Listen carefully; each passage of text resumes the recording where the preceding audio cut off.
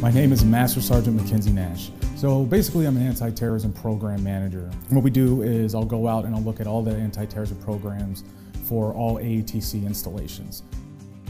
So whether that is how well they function, are there any holes in it, are there any gaps and seams, and then we come down as subject matter, subject matter experts and we provide them like guidance to get their programs where they need to go. Oh, absolutely not. It is a we're a three we're a three man shop.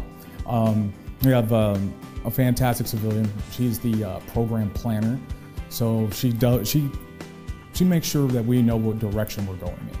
And then as the manager, you know, I get that direction and I go with it. And then there's another mass sergeant as well. Who's going to put that information out? Who's going to protect the people? We feed the force. So if those if those people are not protected adequately, then that's degradation across the entire Department of Defense.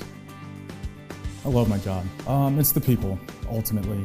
Um, whether it be the people I work with, um, the people at AATC that we partner with, but mainly it's the uh, program managers down at the installation level because a lot of them have multiple jobs that they have to do besides AT and they need, they need the help.